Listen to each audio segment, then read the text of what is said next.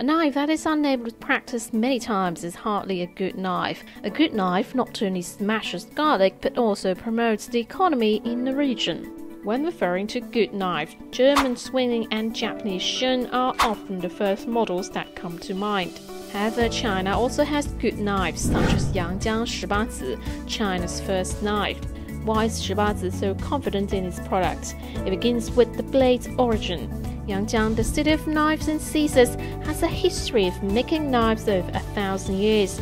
It is the first industrial cluster that reached an annual output of over 50 billion yuan in Yangjiang, accounting for about 70% of the country and 85% of national export volume, selling in 160 countries and regions. Leading companies play an important role in this feat. Shibazi, founded in 1983, is one of these exporters. Shibazi's incumbent GM Li Jihui believes the craft industry benefits from family inheritance. We would rather borrow than invest, let alone go public. This is the rule set by founder Li Lianghui. Li Lianghui, the first generation leader, is the inheritor of Yangjiang knife intangible cultural heritage. He who focused on craftsmanship led Shibazi to carry out five technological revolutions, from improving forging skills to launching multifunctional and set knives, and forming an upstream and downstream integrated production technology chain. Yangjiang Shibazi has laid a solid foundation to enter China's kitchens. Li Jihui, the second generation leader, unlike his father, didn't know how to make a knife. Instead, his focus lies on building up the brand. Li Jihui came up with the idea of building a sound system museum, which was a hobby of his, to enhance brand awareness. Though met with many doubters, it soon brought added value to the brand, which blossomed into economic benefits. Shibazi is now a powerful leading private enterprise with operating revenue reaching 620 million yuan in 2023. After brand is established, it is time to grow steadily with the trend of times.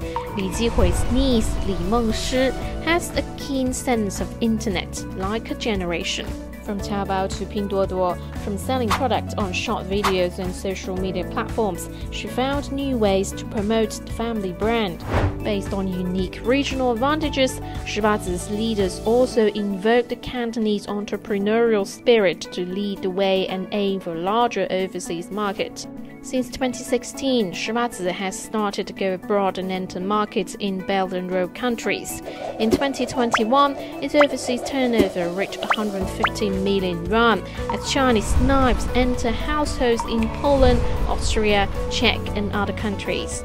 As a knife factory, Shibazi insists on making a good knife with good steel to impress its consumers and has remained the biggest producer and seller of knives in China for over 30 years. However, it also faces concerns of low technological barriers. Li Jihui once stated, We will be easily replaced if we don't improve our technological abilities and form national brands like Japan and Germany. Therefore, it is time for Shibazi to innovate in this traditional industry. In recent years, Shibazi has welcomed postdoctoral candidates and academicians to guide the production of its knives through theoretical innovation.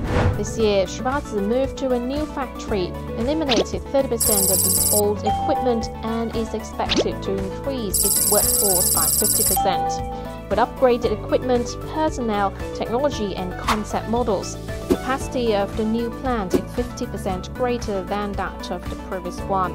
The first generation engaged in technology, the second generation created brand, and the third generation pursued innovation. Yangjiang Shibazi, a family business in traditional manufacturing, appears to be old fashioned in the modern market. But it is thanks to Shibazi and many private enterprises like it that Guangdong is filled with both heritage and vitality.